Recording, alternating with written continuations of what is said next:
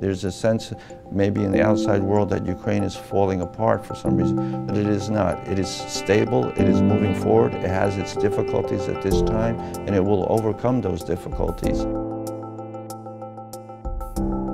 I served at the American Embassy as ambassador from 1998 until the end of 2000. I have a lot of very pleasant memories of that time there. Uh, one of the big memories being the Ukrainian people, who I found to be very warm, open, and generous. From east and west, I made it my business to travel to all parts of Ukraine. My impression of Ukrainians is of a very peaceful people.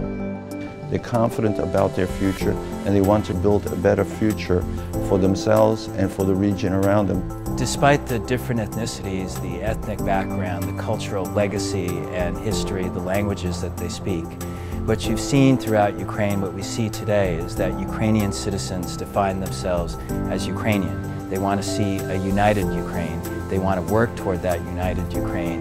That their background, their ethnicity is not the factor. It's where they have their roots in the country that really drives them to push for a united Ukraine. Ukraine is a viable place to do business, a viable place to live, and Ukraine is a key partner in the region for the United States and is a key partner for everyone in the international community. I stand with Ukraine and the right and freedom of Ukrainians to choose their own course in the future. I stand with the people of Ukraine. They deserve the opportunity to make their own decisions. Слава Україні, єдина Україна.